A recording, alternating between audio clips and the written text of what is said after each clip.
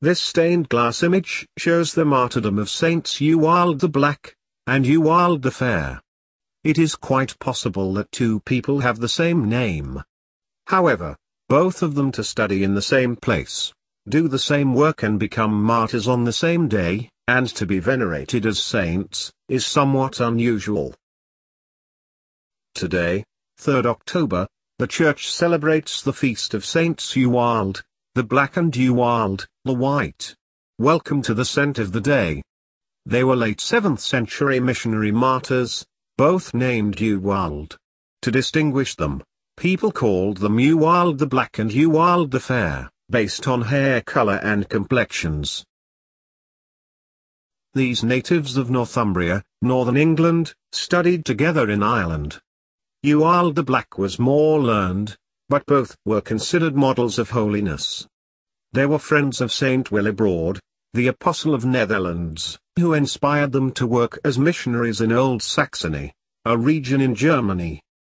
They started working there in 690 staying in the house of the steward of a Saxon earl. For days, the steward entertained them, promising to take them to the chieftain, whom they were planning to convert to Christianity. While they told no one their plan, the two Ewalds prayed often and celebrated Mass and the Liturgy of the Hours. When the Saxons realized the plan to convert the chieftain, they decided to kill them. Ewald the Fair was done to death at one stroke. Ewald the Black was tortured, torn him apart, and then threw both bodies into the Rhine River on October 3 at Aplerbeck. A chapel in their honor can still be seen there. Subsequently Tilman, their monk companion found and buried the bodies.